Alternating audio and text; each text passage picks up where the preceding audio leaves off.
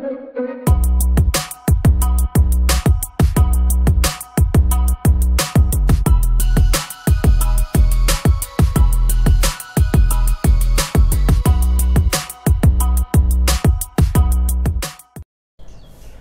ਸਵਾਗਤ ਹੈ ਜੀ ਤੁਹਾਡਾ ਸਾਰਿਆਂ ਦਾ ਸਾਡੇ YouTube ਚੈਨਲ ਗਿਆਮ ਸਟੱਡੀ ਵਿਦ ਜੌਬ ਅਲਰਟ ਵਿੱਚ। ਅੱਜ ਦੀ ਅਪਡੇਟ ਹੈ ਜੀ, ਸਕੂਲਾਂ ਦੇ ਵਿੱਚ ਛੁੱਟੀਆਂ ਨੇ ਸੰਬੰਧੀ ਯੂਟੀ ਸਿੱਖਿਆ ਵਿਭਾਗ ਵੱਲੋਂ ਇਹ ਜਾਣਕਾਰੀ ਆਈ ਹੈ।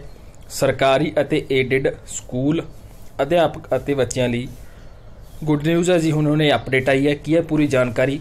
ਅਸੀਂ ਤੁਹਾਡੇ ਨਾਲ ਸ਼ੇਅਰ ਕਰਾਂਗੇ। ਇਸ ਤੋਂ ਪਹਿਲਾਂ ਜੇਕਰ ਤੁਸੀਂ ਸਾਡੇ ਚੈਨਲ ਤੇ ਪਹਿਲੀ ਵਾਰ ਵਿਜ਼ਿਟ ਕਰ ਰਹੇ ਹੋ, ਤਾਂ ਚੈਨਲ ਨੂੰ ਸਬਸਕ੍ਰਾਈਬ ਜ਼ਰੂਰ ਕਰ ਲਿਓ, ਤਾਂ ਜੋ ਤੁਹਾਨੂੰ ਇਸੇ ਤਰ੍ਹਾਂ ਐਜੂਕੇਸ਼ਨ ਨਾਲ ਸੰਬੰਧਿਤ ਅਤੇ ਜੋ ਵੀ ਨਵੀਆਂ ਪੋਸਟਾਂ ਆਉਂਦੀਆਂ ਨੇ, ਇਹਦੇ ਨਾਲ ਸੰਬੰਧਿਤ ਅਪਡੇਟ ਇਨਫੋਰਮੇਸ਼ਨ ਹੈ ਜਿਹੜੀ ਮਿਲਦੀ ਰਹੇ। ਤਾਂ ਸ਼ੇਅਰ ਕਰਦੇ ਹਾਂ ਜੀ ਇਹ ਜਾਣਕਾਰੀ। ਤਾਂ ਇਹ ਜੀ ਜਾਣਕਾਰੀ ਯੂਟੀ ਸਿੱਖਿਆ ਵਿਭਾਗ ਨੇ ਸਰਕਾਰੀ ਤੇ ਏਡਡ ਸਕੂਲਾਂ ਵਿੱਚ ਛੁੱਟੀਆਂ ਨੇ ਜਿਹੜੀਆਂ ਅਗਲੇ ਹੁਕਮਾਂ ਤੱਕ ਵਧਾ ਦਿੱਤੀਆਂ ਹਨ। ਇਹ ਫੈਸਲਾ ਜਿਹੜਾ ਕਰੋਨਾ ਵਾਇਰਸ ਦੇ ਮੱਦੇਨਜ਼ਰ ਕੀਤਾ ਗਿਆ। ਵਿਭਾਗ ਨੇ ਇਸ ਤੋਂ ਪਹਿਲਾਂ 7 ਜੂਨ ਤੱਕ ਛੁੱਟੀਆਂ ਵਧਾਈਆਂ ਸਨ ਤੇ 8 ਜੂਨ ਨੂੰ ਅਧਿਆਪਕਾਂ ਨੂੰ ਸਕੂਲ ਬੁਲਾਉਣ ਦਾ ਫੈਸਲਾ ਕੀਤਾ ਸੀ।